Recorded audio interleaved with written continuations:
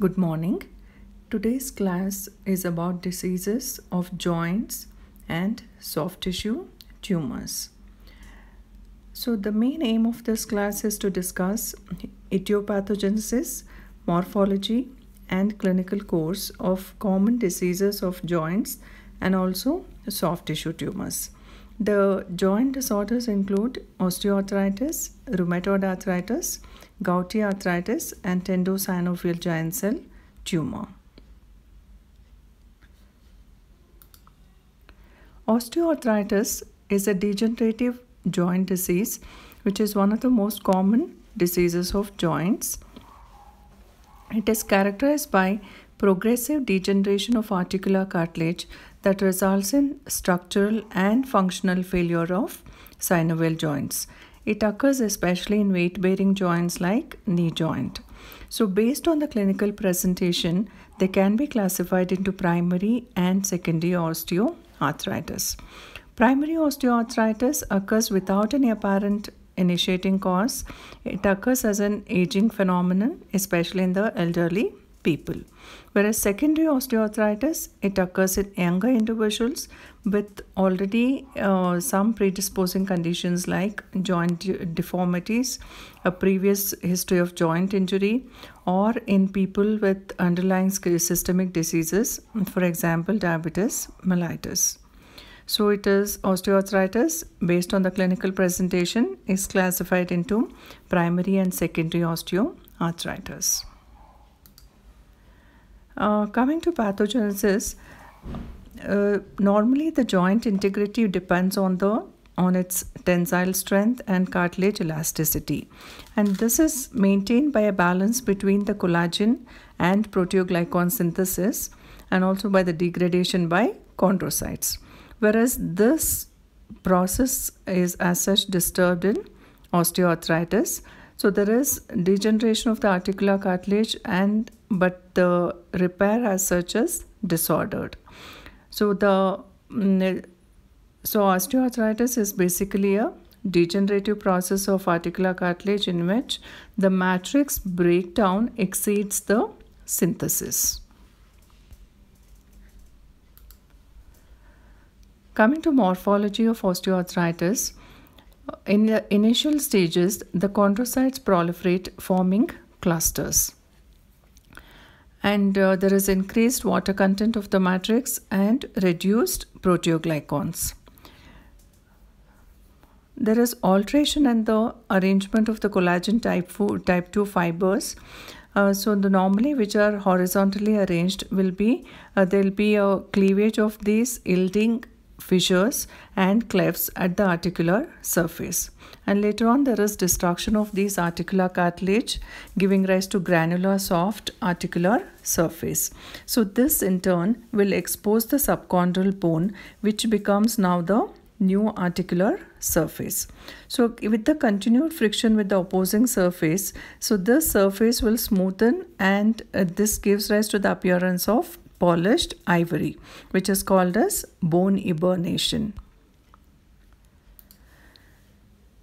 So the repeated small fractures through these articulating bones uh, gives rise to entry of the synovial fluid which result in cyst formation and there, when there is dislodgement of these pieces of cartilage and bone into the joint fluid they result in what is called as loose bodies or joint mice.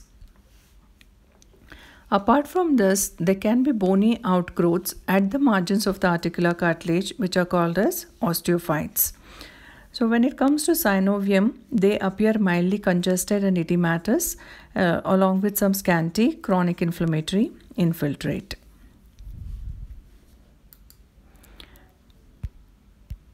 So this shows uh, loose bodies which are nothing but the dislodged pieces of cartilage and subchondral bone into the joint spaces. Uh, so this shows uh, changes in the articular surface in case of osteoarthritis. There is eburnated articular surface which is exposing the subchondral bone and then there is presence of subchondral cyst. And histologically we can see a fibrillation of the articular cartilage.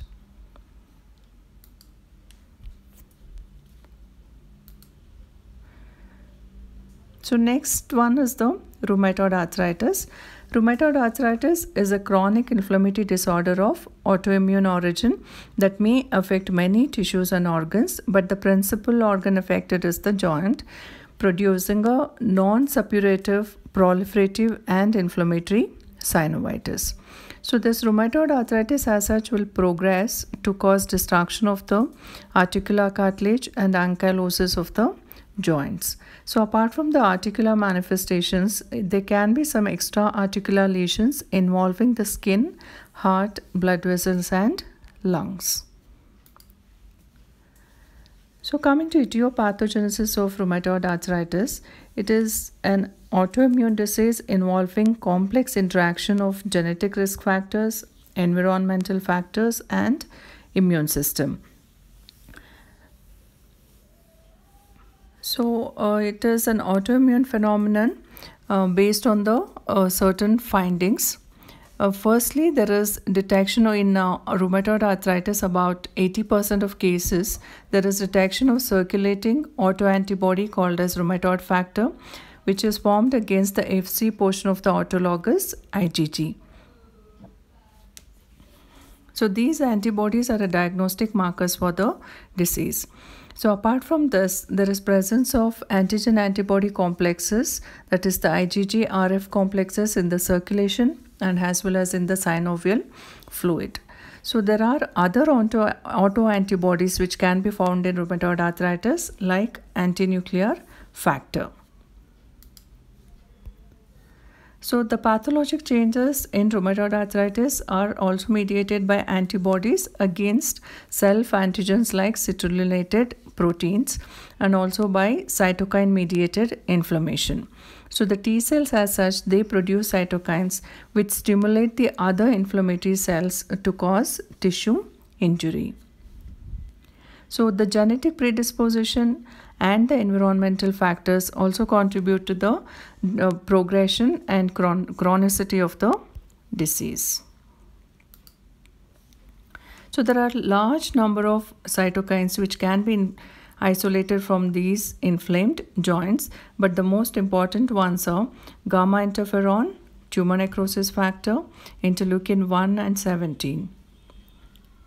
So these are the ones which are responsible for the tissue injury which occurs in rheumatoid arthritis.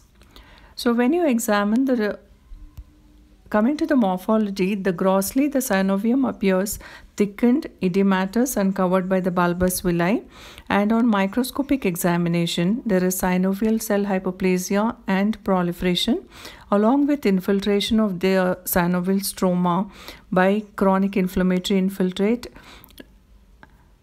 like lymphocytes, plasma cells and macrophages. Then the third finding is going to be increased vascularity due to angiogenesis. So apart from this, there is fibrinopurulent exudate on the synovial and the joint surfaces and the organizing fibrin over these joint surface and in the joint cavity gives rise to what are called as rice bodies. There is accumulation of neutrophils in the synovial fluid along with periarticular um, uh, erosions resulting from osteoclastic activity. So one of the main morphologic finding is the present is the pannus formation.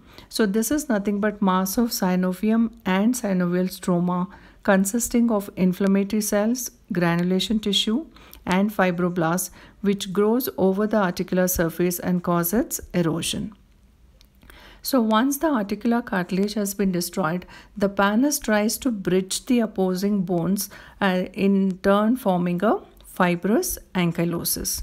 So this fibrosis as such can get ossified and result in fusion of the bones. So that is uh, this ossified fibrous tissue can cause bridging of the bones resulting in bony ankylosis.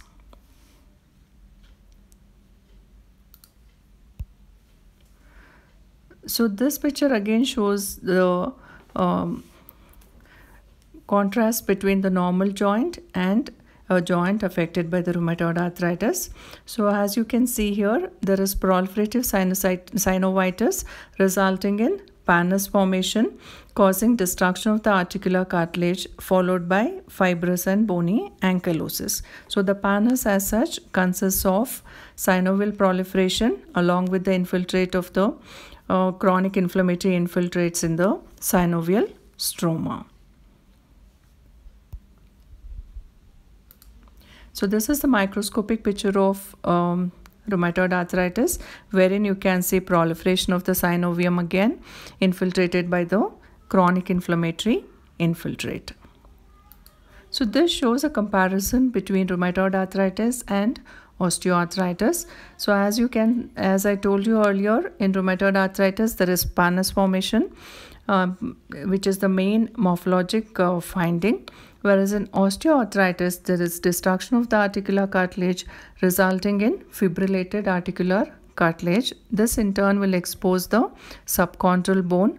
There is formation of subchondral cyst and bony spur or the osteophyte. But there is no ankylosis in osteoarthritis. Coming to the extra-articular manifestation of rheumatoid arthritis, so in about 25% of cases, we can see subcutaneous, firm, non-tender nodules. They mainly occur on the ulnar aspect of the forearm, elbows and lumbosacral area.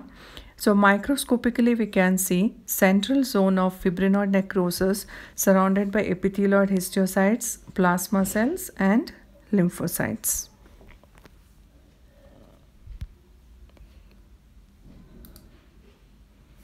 So this is a radiological appearance of rheumatoid arthritis.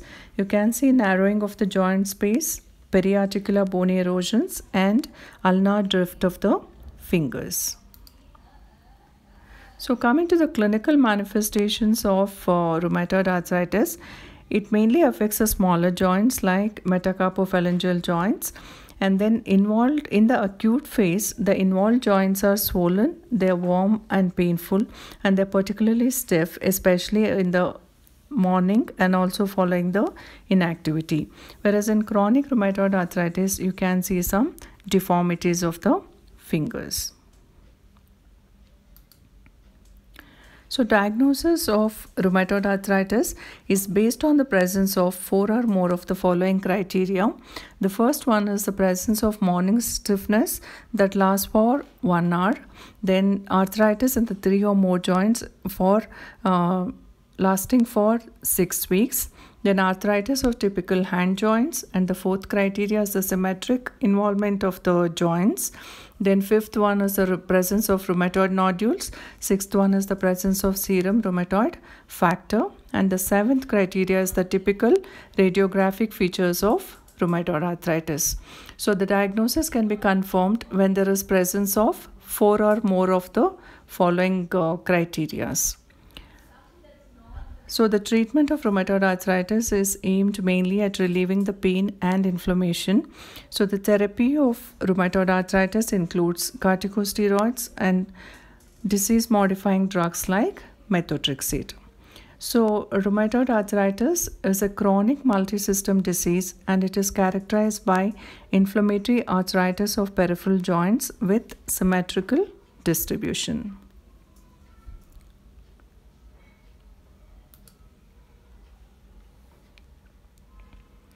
Next, coming to the crystal arthropathies.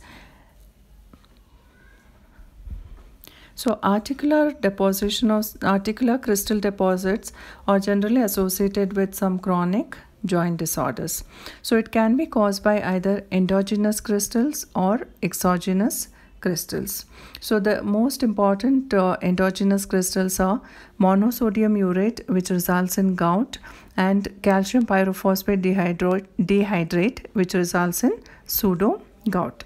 So these endogenous and exogenous crystals they produce disease by triggering a cytokine mediated uh, process which will destroy the cartilage.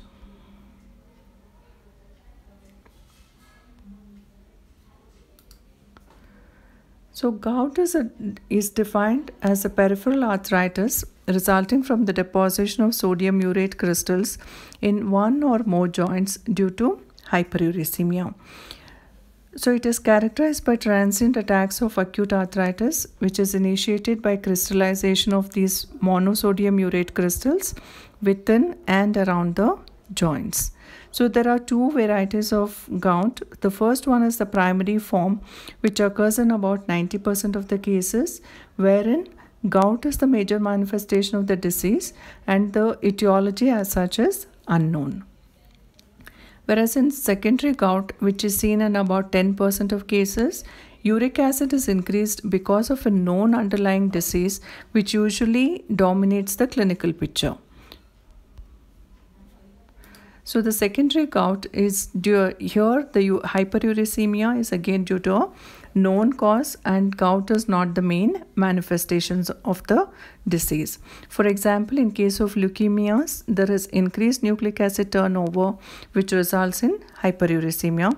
In uh, also in chronic renal disease, there is reduced excretion of the uric acid with normal production of uric acid.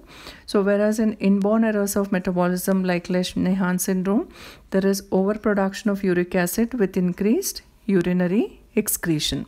So these are all the causes of hyperuricemia in case of secondary gout.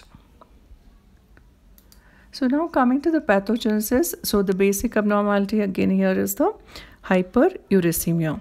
So when there is increased levels of uric acid in the blood and body fluids, it leads to precipitation of monosodium urate crystals. So this in turn gives rise to a chain of events which will culminate in joint injury. That is, there is activation of the complement system which leads to production of chemotactic and pro-inflammatory mediators and also phagocytosis of these monosodium urate crystals by macrophages which stimulates the production of cytokines. So this in turn will give rise to local accumulation of the inflammatory cells like neutrophils and macrophages in the joints and synovial membranes and then release of chemokines and the cytokines along with toxic free radicals and some destructive lysosomal enzymes from these activated inflammatory cells. So the cytokines in turn will activate the synovial cells and the cartilage cells to release the proteases which in turn result in tissue injury.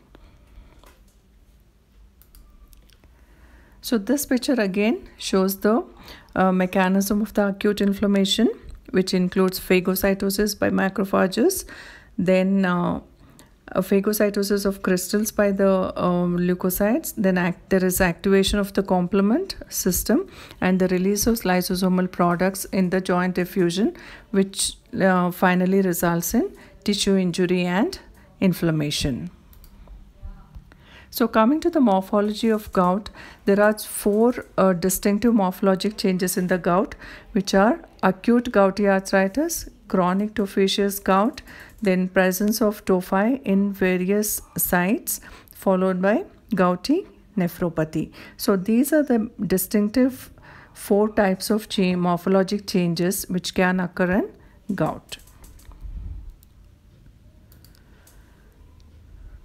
Coming to acute arthritis, it is acute synovitis triggered by precipitation of uh, needle-shaped uh, crystals of monosodium urate from either from the serum or from the synovial fluid of joint effusion. So the joint fluid as such is rich in neutrophilic, neutrophilic infiltrate and macrophages and you can also see this monosodium urate crystals which are found inside the cyto cytoplasm of the neutrophils and also can be arranged in small clusters in the synovium. Uh, these sodium urate crystals, they are long slender needle shaped crystals which are negatively birefringent and the morphologic changes in the synovium shows congestion and edema up, along with infiltration by the chronic inflammatory infiltrate. Uh, the second morphologic uh, manifestation that is chronic tophaceous arthritis. So this results from repetitive precipitation of uh, monosodium urate crystals during the acute attacks there is large aggregation of the uh, MSU crystals on the articular surface and also in the synovium. So this in turn makes the synovium hyperplastic and it is thick and fibrotic resulting in a formation of pannus which destroys the underlying cartilage and then will lead to uh, juxtaarticular bony erosions. So in severe cases it can also uh, form bony ankylosis. So the third man clinical manifestation that is tophi. So a tophus means a porous stone. So the presence of these tophi are the pathognomonic hallmark of gout. So these are nothing but large aggregates of monosodium urate crystals surrounded by inflammatory cells, fibroblasts and foreign body giant cells. So these tophi occur in sites like articular cartilage of joints, periarticular ligaments, tendons, bursae and nasal cartilage. Uh, it is also seen in soft tissues of earlobes and fingertips. So the lower picture shows an amputated great toe with formation of white tophi involving the joint and soft tissues. So this is the histological appearance of a gouty tophus. There is an aggregate of dissolved urate crystals in the center which is surrounded by reactive fibroblasts, mononuclear inflammatory cells and giant cells. So this is the appearance of urate crystals under polarized light. So under polarized light, they the crystals appear as needle shaped and they are negatively birefringent. So in gouty nephropathy, there is deposition of crystals in renal, medullary interstitium and intratubular precipitations. So there can be presence of uric acid renal stones. So now coming to the clinical manifestations. In case of acute attack, there is sudden onset of excruciating joint pain and this is again associated with signs of inflammation like swelling, redness and tenderness. The first attack typically occurs in the first metatarsophalangeal joint which is the classic presentation of acute gouty arthritis. So apart from these sites, it can also affect knees, wrist, elbow and fingers. So in chronic cases, the X-ray shows characteristic bony erosion and also loss of the joint space.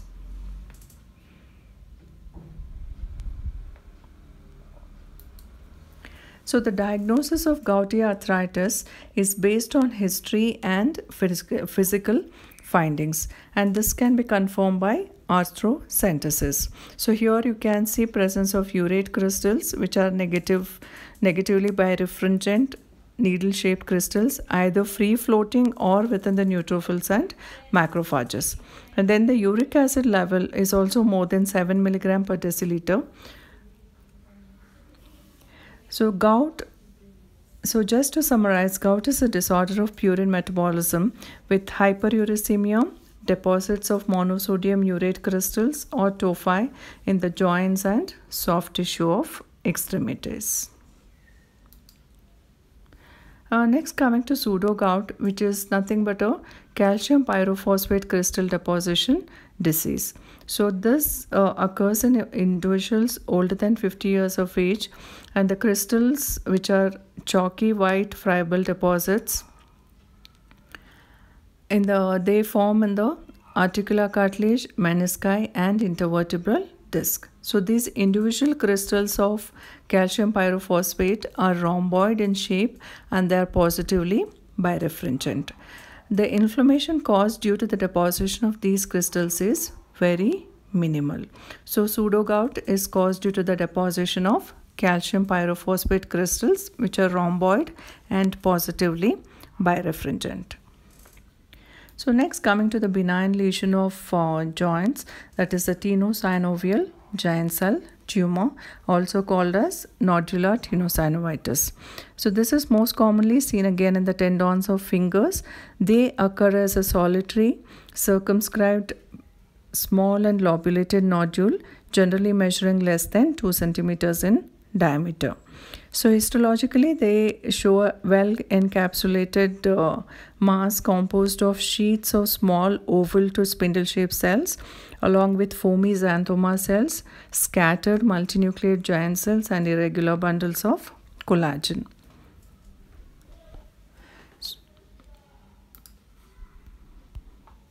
So this is a histological uh, picture of tenosynovial giant cell tumor. You can see multinucleated giant cells which are haphazardly arranged in between the small round, uh, small oval to spindle shaped mononuclear cells.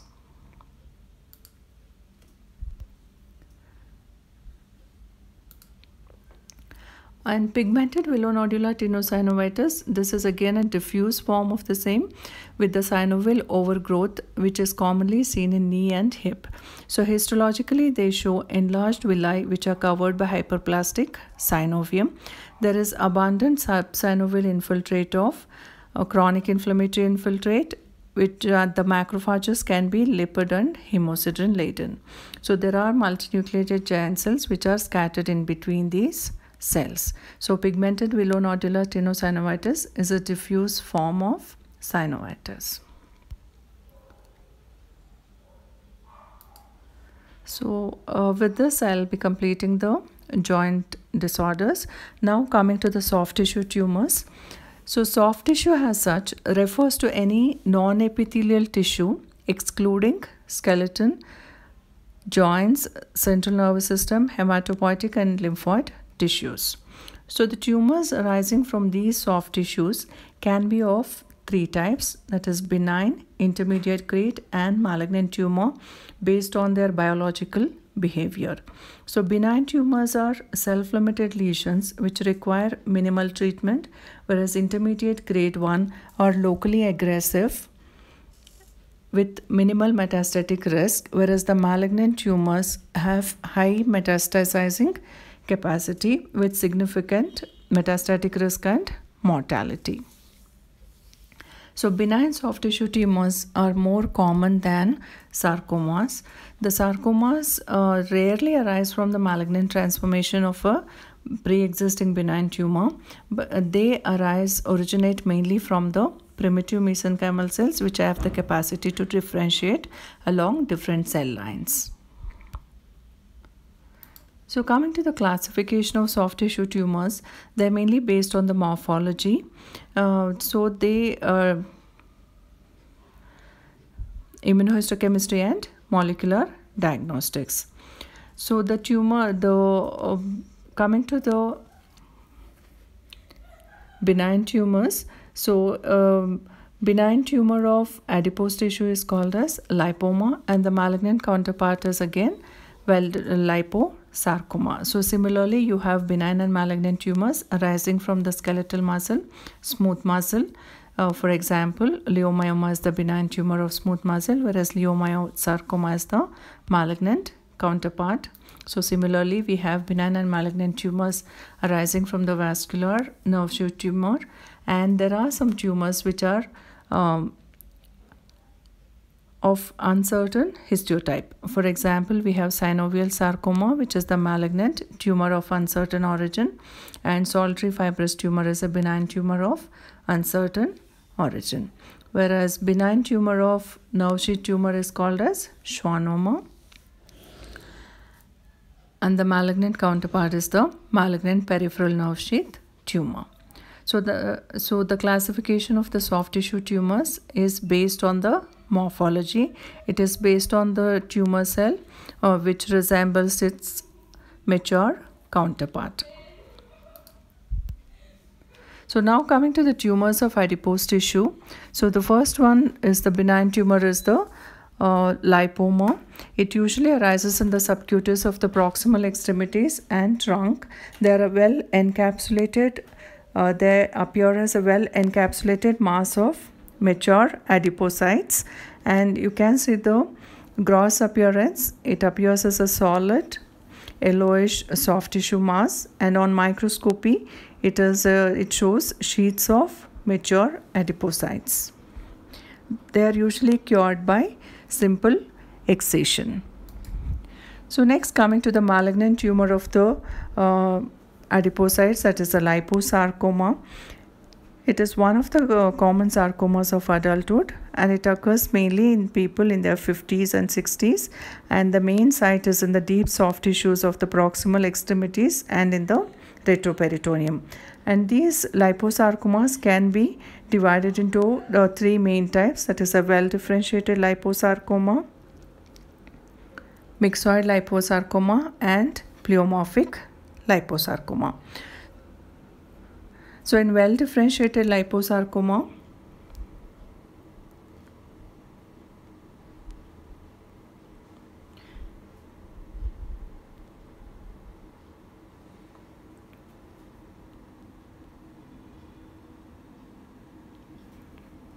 So in well-differentiated liposarcoma, it again consists of uh, mature adipocytes along with scattered spindle cells which have hyperchromatic nuclei. The second variant that is a myxoid liposarcoma there is abundant ground substance and a rich capillary network and there are scattered immature adipocytes which appear like primitive round to stellate cells. And then we have third variant that is the pleomorphic liposarcoma which consists of sheets of anaplastic cells bizarre nuclei and variable amount of lipoblasts next coming to the benign uh, soft fibrous tumors we have nodular fasciitis and fibromatosis so nodular fasciitis, it is a self-limited fibroblastic and myofibroblastic proliferation which occurs commonly in the upper extremities in young adults. So nodular fasciitis, here the lesion is richly cellular and it is composed of plump immature appearing fibroblasts and myofibroblasts which are arranged in fascicles and this is surrounded by myxoid stroma. Then we have fibromatosis. So this is nothing but a tumor-like lesion of fibrous tissue which continue to proliferate actively and they invade locally but they are non-metastasizing. So they have the propensity to invade the local tissues. They will proliferate actively but they do not metastasize to distant sites. So these fibroblastic tumors can be of two types. First one is a superficial fibromatosis, for example plantar end which occurs as palmar and plantar fibromatosis. Then we have deep fibromatosis also called as desmoid tumor and this occurs in the musculo-aponeurotic structures of the anterior abdominal wall. So cytologically these fibromatosis they consist of blunt fibroblasts which are arranged in broad sweeping fascicles along with dense collagen. So in here you can also see fibromatosis which is infiltrating between the skeletal muscle cells. So they can be locally infiltrative but they do not metastasize.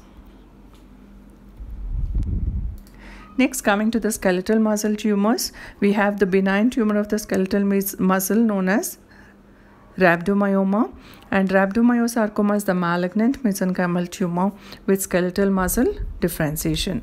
There are two, three types of rhabdomyosarcoma, embryonal rhabdomyosarcoma, alveolar rhabdomyosarcoma and pleomorphic rhabdomyosarcoma.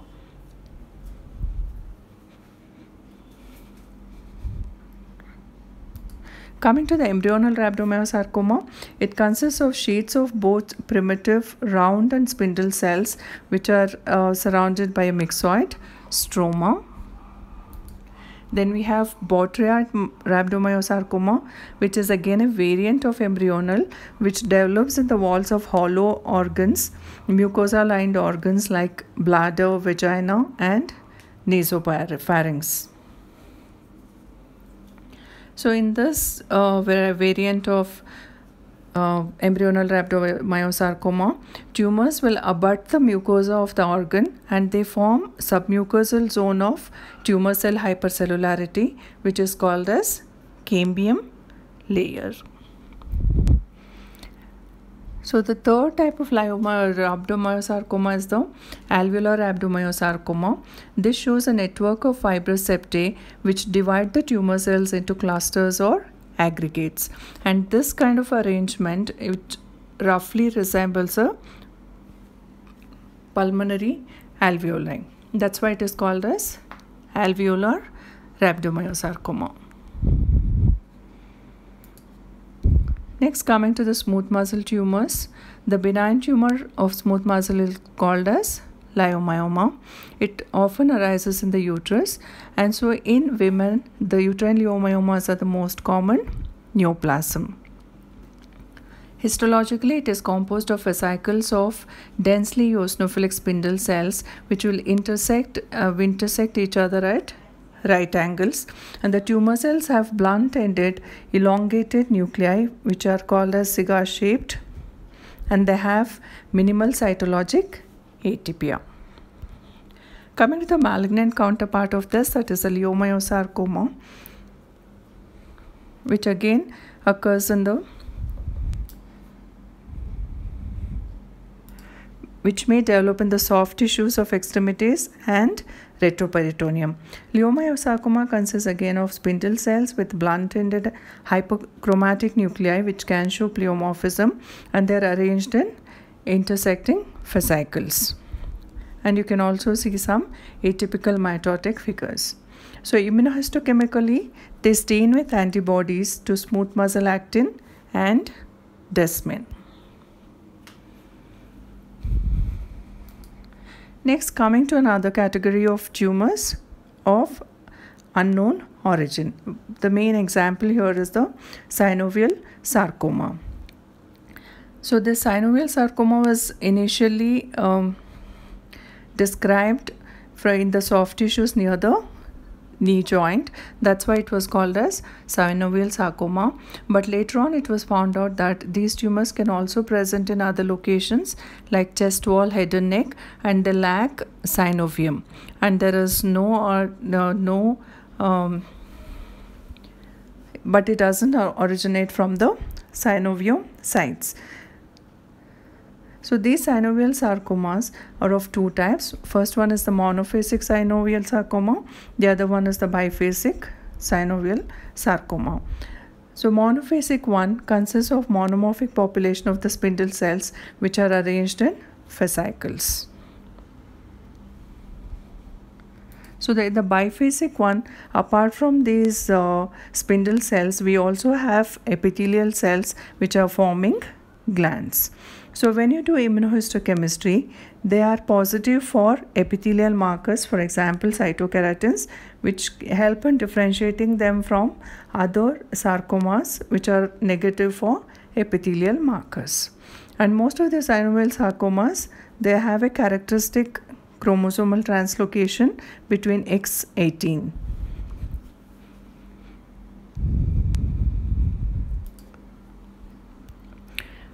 So immunohistochemical uh, histochemistry as such uh, helps in distinguishing various soft tissue tumors so we can use variety of monoclonal antibody stains to differentiate between various soft tissue sarcomas. So based on the differential diagnosis which is made on routine morphology, we can choose a panel of antibody stains which can be applied to the paraffin sections of these tumors and then help in differentiating between various sarcomas and confirmation of the diagnosis. So here are examples of certain tumor uh, immunohistochemical markers based on their histogenesis. So tumors of mesenchymal origin are positive for vimentin and desmin is positive in smooth muscle tumors whereas myogenin is positive in skeletal muscle tumors. Then S100 is the immunohistochemical marker for neural tumors and GFAP or the glial fibrillary acidic protein is the positive marker for nerve sheath tumor and similarly CD68 and factor 13A are the immunohistochemical markers for fibrohistiocytic tumor. So immunohistochemistry helps in confirmation of the diagnosis after the morphological diagnosis based on H&E stained slides.